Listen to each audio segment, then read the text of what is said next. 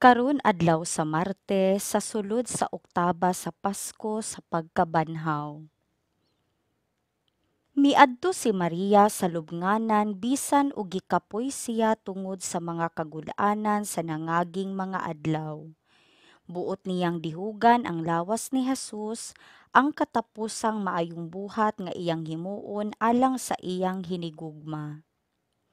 Ang iyang kaguol ug ang iyang kabalaka misamot sa dihang nakaamgo siya nga wala na didto ang lawas ni Jesus ug walay makasulti kaniya kun hain na kini.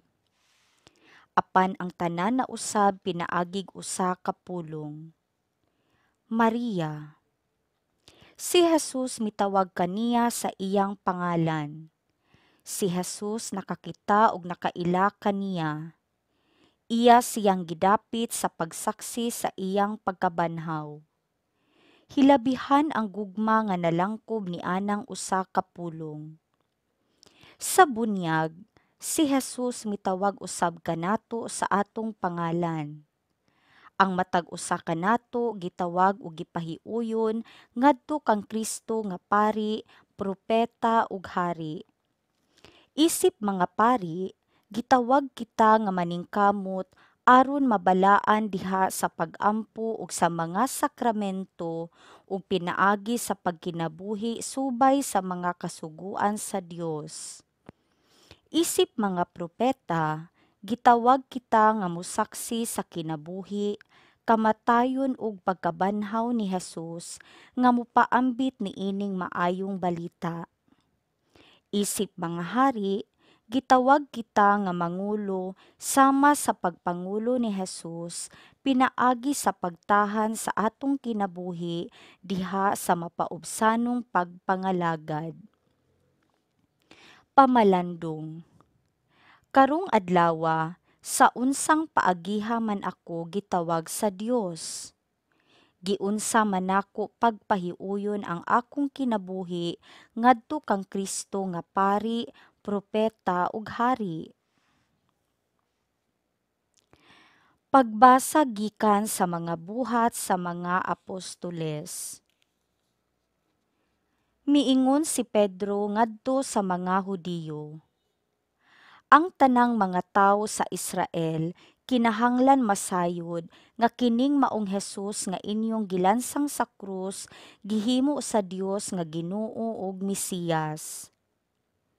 Sa pagkadungog niini sa mga tawo, natandog sila pag-ayo ug giingnan nila si Pedro ug ang ubang mga apostoles.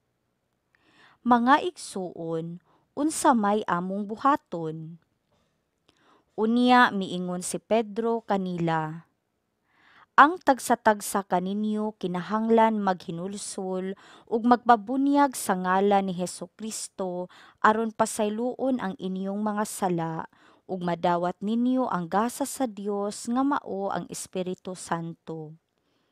Kay ang saad sa Dios alang man kaninyo ug sa inyong mga anak ug sa tanan nga atuas sa layo tanan nga pagatawgon sa atong Ginoong Dios. Nangaliyo po si Pedro kanila ug miagda nga nag-ingon. Luwasan ninyo ang inyong kaugalingon sa silot nga ipahamtang niining daotang katawhan. Daghan kanila mituo sa iyang mensahe ug nagpabunyag mga tulo ka libo ka tawo ang nahidugang sa pundok sa mga magtutuo ni adtong adlawa. Ang pulong sa Ginoo. Salmo responsoryo. Ang yuta puno sa kaayo sa Ginoo. Matarong ang pulong sa Ginoo ug ang tanan niyang mga buhat kasaligan Nahigugma siya sa husto ug sa matarong, sa kaayo sa Ginoo puno ang yuta. Ang yuta puno sa kaayo sa Ginoo. Tan-awa, ang mga mata sa Ginoo gitan-aw kanila nga mahadlokon kaniya.